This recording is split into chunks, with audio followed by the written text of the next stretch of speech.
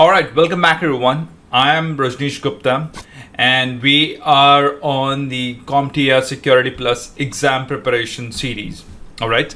So before we go ahead, make sure you subscribe to the channel so that you keep receiving, keep getting the cybersecurity content. All right.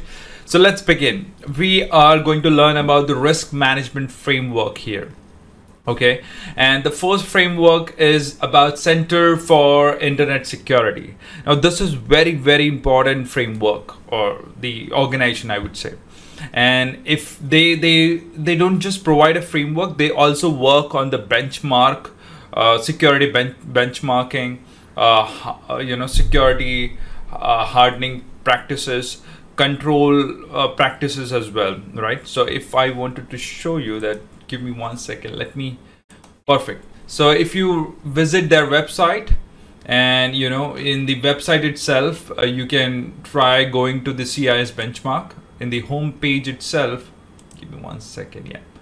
So in the home page itself in the CIS benchmark you'll find the benchmark standards for different environment for you know for aws for apache http servers you can download the cis benchmark you can download for CentOS Linux uh, you can download the benchmark for checkpoint firewall for Cisco devices as well.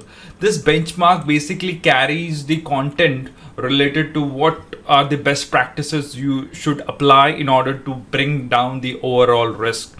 And that's all about the risk management framework.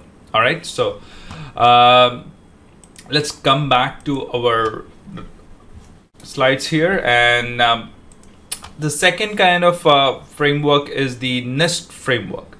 NIST is basically, uh, you know, a pretty widely used framework and this is also help not just a risk management framework they also have the cybersecurity framework as well okay? And this carries multiple phases. If you look at the cybersecurity framework they have a different method for this now in the international section in the international vertical we have iso 27001 which is uh, you know uh, in addition to the 27001 we even have 27002 as well and even 27701 so this carries this consists of the controls uh, in terms of what controls you require and even the risk management uh, framework as well right?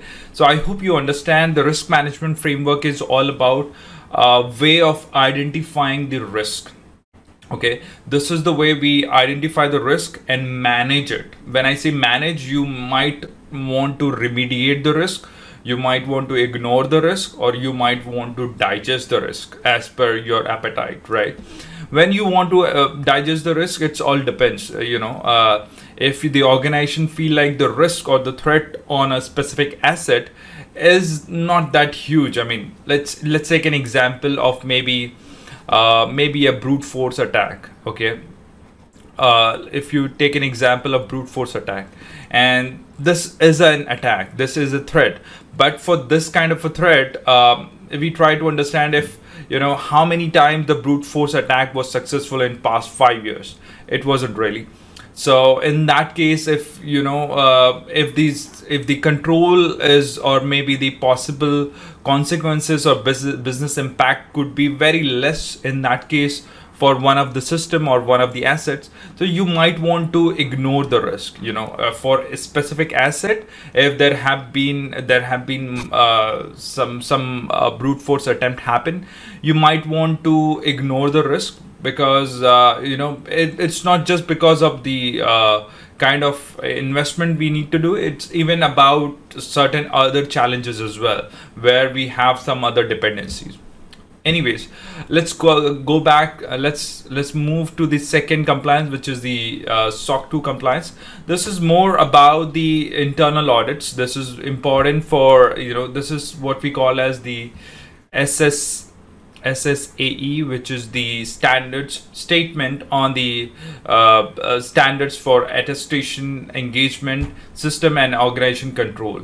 So this carries the SOC 1 and SOC 2 compliances, and this is majorly for the financial statement integrity, right? So this is this plays a very very important role, and the next we have the special publication of uh, 830 uh, which is I think the revision number one. In order to get a better idea we can go to the actual white paper here. And you can see let me erase okay. You can see this is the white paper for special publication in the NIST special publication 830 revision 1 and in this white paper you clearly get the idea about what, how, how to assess the risk what are the different process uh, risk management process the fundamentals of it and the different stages involved. So you have to prepare the assessment and next conduct the assessment where you identify the threat sources and events. Identify the vulnerabilities uh, determine the likelihood of the occurrence determine the magnitude of the impact and determine the risk. If you recall our earlier video we have done exactly the same way. We have tried getting the information. One second. In our earlier video if you go back even you we we started with getting the threat information. Then we look at the our asset then um, you know we also try to find out the vulnerability on our asset. Then we moved to moved in and calculated the uh, likelihood likelihood of the attack and then impact.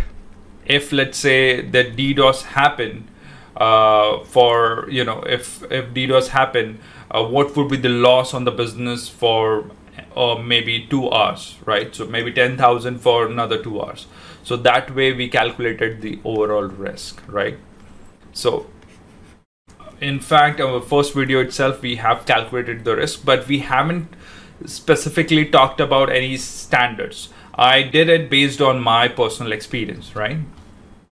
Okay, so this is about the NIST. Let's come back. Okay, now next we have the data privacy and uh, data privacy and regulation and standards. The first very important and very popular is the GDPR. Now GDPR is applicable and it's majorly there to protect the uh, data of EU citizens okay so uh, their private data has to be secure as per the gdpr compliance irrespective of where it is stored is it stored in locally or in the cloud or wherever it is uh, they have to follow any organization who want to serve the customers the customers in the eu region they have to follow this compliance okay? And this is majorly for the eu citizen remember this. Next we have the hipaa compliance. This is for organization who are providing the health services. And this is majorly this is majorly for protecting the american uh, patient medical information. The full full form is the health health insurance uh, portability and accountability act. Okay and um, yeah so for this itself uh, there have been many breaches happen in the past. Because of this the HIPAA compliance uh, have been improved as well. Okay and there have been organizations who specifically been focusing in delivering the HIPAA compliance services too next and the very very popular is the PCI DSS that's applicable globally and on the international level uh, which is PCI DSS which is for payment card industry. Uh, any this is majorly for protecting the credit card holders or the card holder information. So anybody who has who own a credit card or any card uh, they, they, this compliance is majorly to protect their credit card information and their personal information so this is the, this is made by the uh, top uh, credit card provider organization like Ma mastercard visa and some other organizations as well. And there are set of 12, 12 requirement that has to be fulfilled by merchants by service provider or whomever who either store or process the credit card information. Okay so let's look at some more detail. Let's okay let's come to the PCI DSS standards document. You can um, you can actually start with their you know this is the entire document. If you jump to their ninth page, you will find the PCI DSS security standards. There are different goals and each goal has got certain requirements. So if you look at the number of requirement these are 12 so any organization who is uh, is able to maintain this 12 requirements by PCI DSS body then they can get the PCI DSS certificate that means they can now start accepting and storing the credit card information remember this so first uh, first goal is to build and maintain maintain a secure network system. For this, there are two requirements. Install and maintain firewall configuration to protect the card, card and cardholder data and vendors remove any kind of a default password or change the password as well. Uh, the very uh, very important one is the regularly regularly monitor and test the network. That's where you have to perform vulnerability scanning and all the other uh, activity as well. Regularly test the security system and processes maintain a vulnerability management program. This is where we have to look, uh, make sure we have the antivirus installed on our all the system. We have to develop and maintain a secure system and application as well. So this is where we also need to ensure we have an encryption involved wherever we store those information. So the second goal is the protect uh, card holder data. That's where we have to make sure we encrypt the transmission of the card holder data across open and public network. So even for that, we need to make sure we are making use of encryption. So that's the reason why organization, why financial organization are, you know, uh, are, are actually making use of data loss prevention tool or data encryption softwares as well. All right. So I think it was clear for you about the risk management framework and data privacy and privacy regulation and standards as well. If you have any question, you can ask me in the comment. Thank you.